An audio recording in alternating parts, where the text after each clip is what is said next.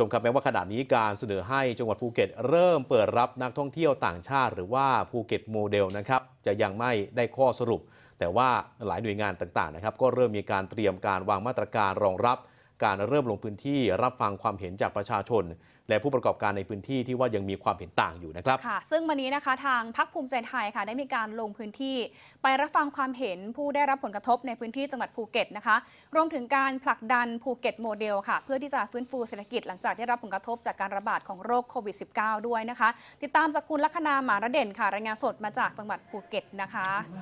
คุณลัคนาเชิญค่ะ ค่ะคุณธีรเดชคุณมณีนาถคะดูเหมือนว่าปัญหาของชาวภูเก็ตเรื่องเร่งด่วนที่ต้องการมากที่สุดในเวลานี้คงไม่ใช่เรื่องการผลักดันภูเก็ตโมเดลนะคะ แต่เป็นเรื่องปัญหาภาระหนี้สินที่พวกเขากำลังแบกรับภาระอยู่ค่ะ ซึ่งจะสิ้นสุดมาตรการพักชำระหนี้ในเดือนตุลาคมนี้นะคะ พวกเขานั้นอยากให้รัฐบาลเร่งช่วยเหลือค่ะ โดยยืดระยะเวลาการชำระหนี้ออกไปก่อนนะคะ ส่วนภูเก็ตโมเดลนั้นถ้าเกิดจะ ต้องผลักดันก็ไม่ได้ขัดข้องนะคะ แต่ต้องให้แน่ใจว่ามีความปลอดภัยค่ะ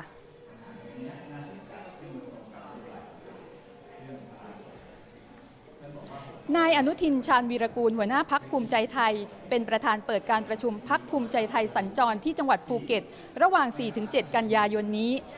ซึ่งการมาจังหวัดภูเก็ตในครั้งนี้นะคะ เพื่อรับฟังปัญหาและความต้องการและข้อเสนอแนะจากผู้ประกอบการและชาวจังหวัดภูเก็ตค่ะ รวมทั้งสร้างความเชื่อมั่นให้ผู้ประกอบการมีความเชื่อมั่นกับการผลักดันภูเก็ตโมเดล หลังภาคเอกชนและประชาชนในพื้นที่ยังคงมีความกังวลเรื่องความปลอดภัย หากเปิดรับนักท่องเที่ยวต่างชาติ โดยย้ำกับภาคเอกชนว่าขอให้มั่นใจกับระบบสาธารณสุขไทยที่มีประสิทธิภาพและอย่าตกใจกับการพบผู้ติดเชื้อในเรือนจำ ซึ่งรัฐสามารถดูแลได้ พร้อมยืนยันว่ารัฐบาลมีความพร้อม สนับสนุนให้ภูเก็ต เปิดรับนักท่องเที่ยวต่างชาติ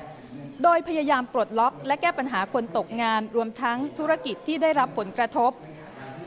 นายกสมาคมที่พักบูติกนะคะ บอกว่าการระบาดของโควิด -19 ในช่วงที่ผ่านมาทำให้ผู้ประกอบการได้รับผลกระทบอย่างมาก โดยเฉพาะที่พักขนาด 1-3 ดาวที่มีถึง 1,500 แห่ง เนื่องจากรัฐบาลมีการล็อกดาวน์ไม่อนุญาตให้นักท่องเที่ยวต่างชาติเข้ามาได้ทำให้รายได้เป็นศูนย์และเข้าไม่ถึงมาตรการช่วยเหลือของรัฐนะคะ จึงอยากให้ผ่อนปรนการเข้าถึงสินเชื่อค่ะ งินกู้หรือว่าซอฟท์โลนต่างๆเนี่ยเราก็เข้าไม่ถึงครับ เนื่องจากมีข้อติดขัดในเรื่องของเงื่อนไขต่างๆนะฮะที่เป็นข้อจำกัดเยอะมากทำให้เราไม่สามารถที่จะไปเข้าในในส่วนของเงินกู้นี้ได้นะขณะที่นายกสมาคมธุรกิจการท่องเที่ยวจังหวัดภูเก็ตระบุว่า สิ่งที่ต้องการให้รัฐบาลช่วยเหลืออย่างเร่งด่วน คือการยืดการพักชำระหนี้ออกไปจากที่สิ้นสุดในเดือนตุลาคมนี้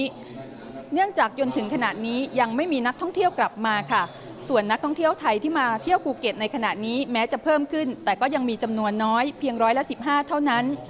ส่วนการผลักดันภูเก็ตโมเดลนั้นไม่จำเป็นต้องรีบนะคะ แต่ต้องมีความพร้อม โดยเฉพาะเรื่องของความปลอดภัยค่ะส่วนเรื่องภูเก็ตโมเดลที่เรากำลังพูดถึงเนี่ยมันเป็นฝั่ง demand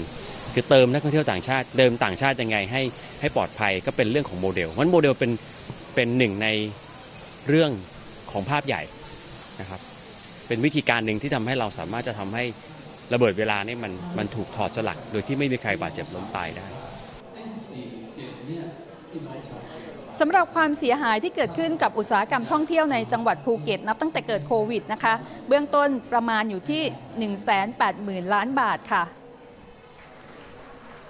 ขั้นสุดท้ายนะครับต่อไปนี้โดยหลังจากนี้นะคะ รัฐมนตรีของพักนะคะ ก็มีการแบ่งกลุ่มลงพื้นที่เพื่อพบปะประชาชนในพื้นที่ต่างๆ ค่ะ ทั้งในวันนี้นะคะ ช่วงบ่ายแล้วก็พรุ่งนี้อีกหนึ่งวันนะคะ ก่อนจะสรุปผลนะคะนำเสนอผลสรุปทั้งหมดนะคะ ต่อรัฐบาล และสภาผู้แทนรัษฎร เพื่อกำหนดมาตรการช่วยเหลือต่อไปค่ะ คุณมากค่ะ คุณลัคนาค่ะ ซึ่งภูเก็ตเองก็เป็นอีกจังหวัดหนึ่งที่เห็นผลกระทบชัดเจน ตั้งแต่ที่มีการระบาดช่วงเดือนมีนาคมที่ผ่านมาก็ทำให้เรื่องของการท่องเที่ยวของภูเก็ตหรือว่ารายได้เนี่ยคือลดลงเป็นศูนย์เลยนะคะ